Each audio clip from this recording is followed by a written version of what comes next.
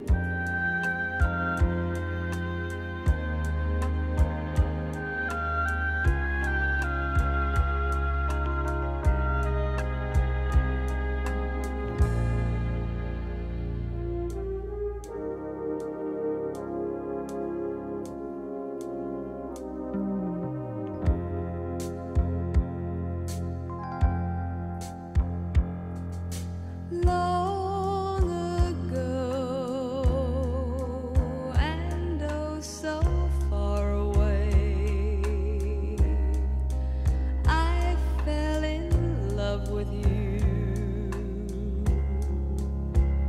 before the second show.